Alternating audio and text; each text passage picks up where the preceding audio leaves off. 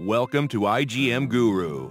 IGM Guru is one of the global leading online training and certification provider for IT expert by the skilled IT gurus to help them achieve their professional goals. Yeah. So model, um, yeah. So model is a basic object within uh, SAP Analytics Cloud. So it is mainly uh, used for representation of business data of an organization or a business segment. So you can use a uh, model for a basis for your story or analytical application. Uh, so the modeler is the place where you can create, maintain, and load data into the models. So in SAP Analytics Cloud, uh, models can either have acquired data or live data. So based on the type of connection you choose for creating your model, there are two types, as you know from the previous session, uh, previous topic. Uh, one is import and live. Similarly, in the models also, we have import model and live model, or import or acquired, anything can be called. And the other one is live model. So in import, you know, right, data is imported, copied, and stored within SAC. So whatever changes made to the data in the source system doesn't affect the imported data. So until unless you copy again or modify again or re uh, run the schedule for importing, uh, until then the data won't be changed. Whereas in live, uh, data is stored only in the source system. It is not copied. Any changes in the source uh, data immediately will be reflected within the SAC model itself.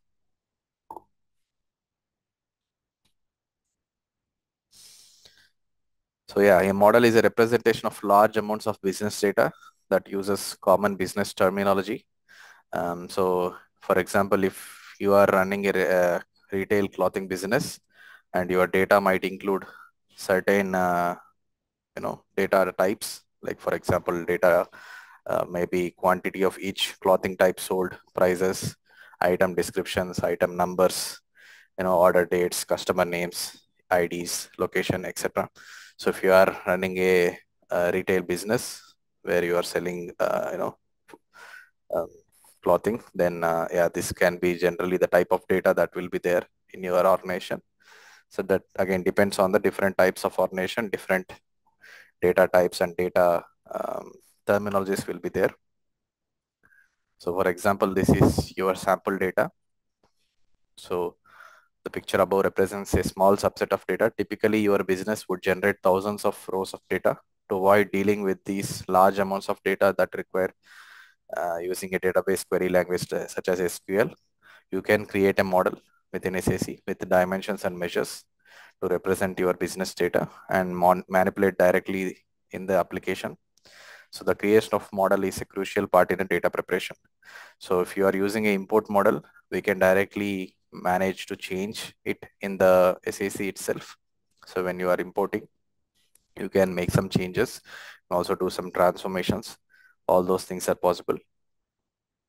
Whereas live connection, all the data manipulation should be done in the backend itself. So now coming to what is dimension and measure. So I think most of you would have already known this because you would have worked on BW and all. So a measure is something which holds numerical value and typically represent quantities that provide meaning to your data. So for example, sales revenue, salary, number, uh, number of employees, etc. So usually measure is something like numerical, um, which is used to math to mathematical operations to represent quantity or value like sales revenue something like mathematical. We can uh, do operations you know you can do sum of sales average same like salary also and also number of employees. So anything numerical usually will be measure then uh, opposite of that is a dimension. Uh, this will give you know uh, represents the category that provide perspective on your data for example product category date location so all these comes under dimension um, so one more example could be age. Age, even though is a numerical, you are not allowed to, you are not supposed to do mathematical operations, right? You can't do sum of ages or average. Uh, average can be done, but sum of ages cannot be done or you cannot multiply and do all the mathematical operations. So it is considered as a dimension. Similarly, ID numbers. So all the numbers that are there in the IDs, you are not supposed to do any mathematical operations there. It's there for uh, providing a category or unique perspective for your data. So that's why it comes under dimension. So that's about dimensions and measures.